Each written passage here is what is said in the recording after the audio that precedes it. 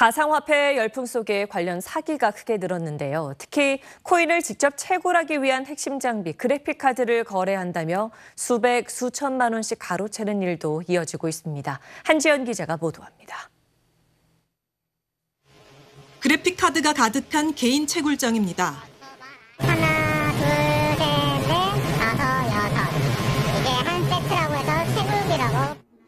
지난 6월 코인 채굴을 시작한 A씨는 개당 170만 원에 달하는 그래픽카드를 싸게 구매하려고 중고거래 사이트를 이용했습니다. 제가 쪽에는 너무 이제 금액이 크다 보니까 한 개당 170만 원 정도. 중고가 지금 150만 원, 120만 원 차이가 나버려요. 그래픽카드 14개 값 2,200여만 원을 판매자 계좌로 입금했는데 석 달째 물건도 환불도 받지 못하고 있습니다. 채굴용 그래픽카드 수요가 급증하면서 비싼 값에도 구하기 어렵자 개인 간 거래로 눈을 돌리는 건데 덩달아 사기 피해도 늘었습니다.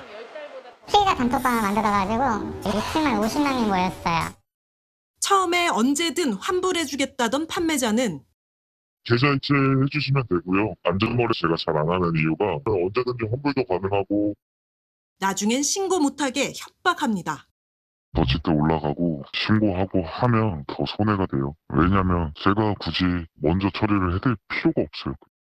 중고 그래픽카드 관련 사기는 올 들어 1,600건, 피해 금액은 13억 원을 넘어 지난해보다 2배 이상 늘었습니다. 정부는 인터넷진흥원과 협력 체계를 구축해서 사기 거래 정보가 반영될 수 있는 시스템을 구축하는 등 보호 장치를 마련해야 된다.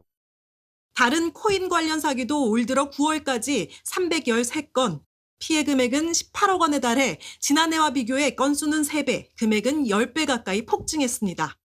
SBS 한지연입니다.